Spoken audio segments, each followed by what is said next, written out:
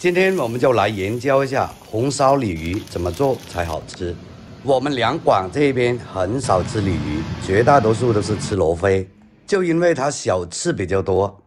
其实鲤鱼是非常好吃的，特别是野生的鲤鱼，吃起来特别的鲜嫩。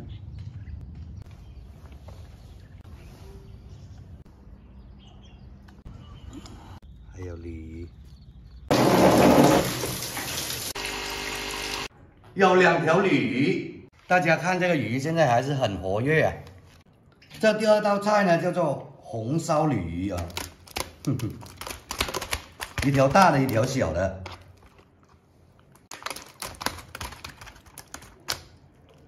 第一步，我们先把鲤鱼给它宰杀干净，先用刀把它拍晕。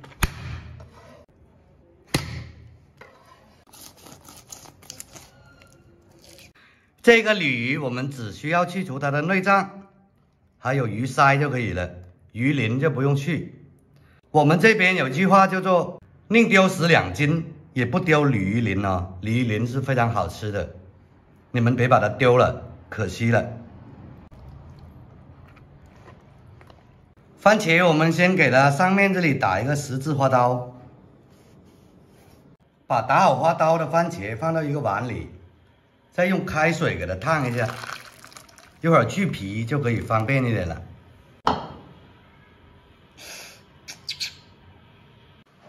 好了，现在就可以很方便的去皮了。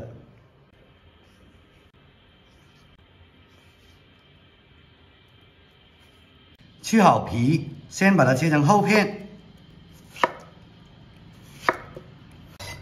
再把它切成条。接着再把它切成小粒，切好放入碗中备用。准备一点姜，把它切成片；蒜米也把它切成片，切好放入碗中备用。葱白切成段，葱叶切成葱花。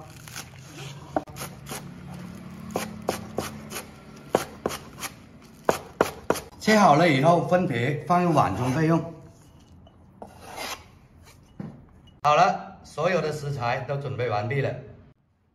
锅里面把油烧热，鲤鱼下锅煎。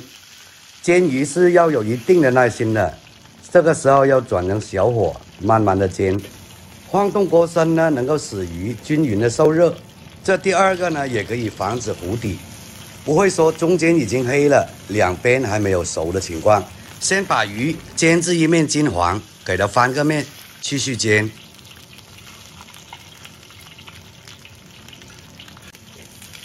继续给它晃动锅身，不会晃锅的同学可以用锅铲推来推去也是可以的。把鱼煎至两面金黄了之后，先把鱼扒至锅边，下入姜蒜片炒香。姜蒜片炒香了之后呢，就可以下入番茄。番茄呢要多炒一会儿，把里面的酸味呢把它激发出来。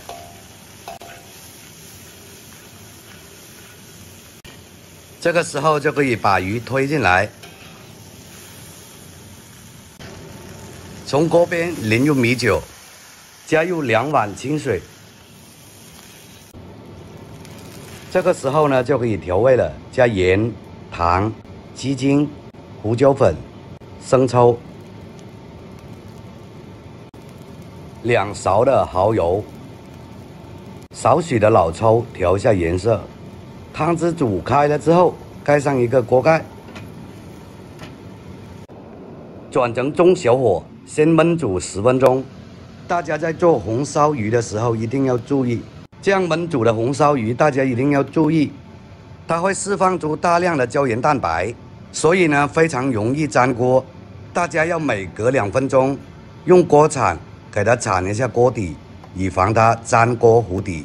现在的鱼已经焖煮了十分钟，给它翻过另外一面，继续焖煮十分钟。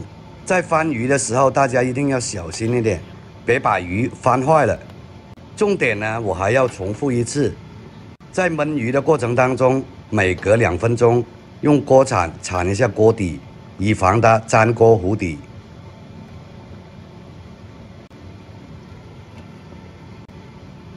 好了，现在已经焖煮了二十分钟，先把鱼打出来，盛到盘子里面去。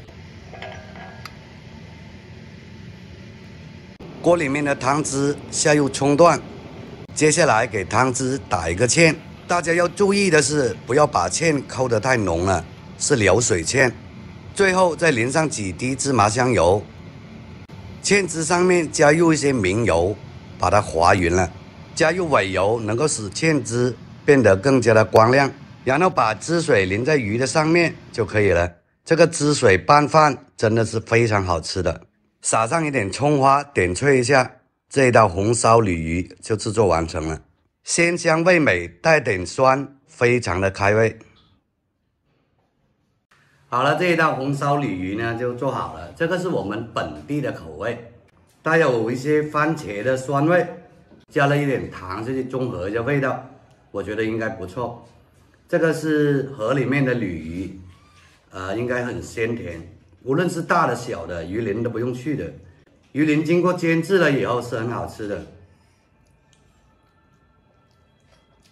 我来尝一下这条小的，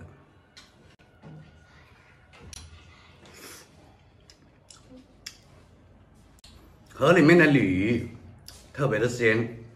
它的鱼鳞是一点都不会硬的，经过煎制了之后，脆脆的，特别好吃。来尝一下这个大的，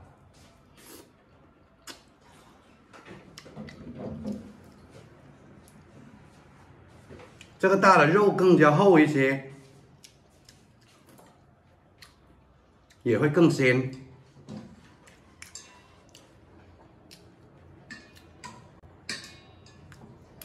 嗯，不错。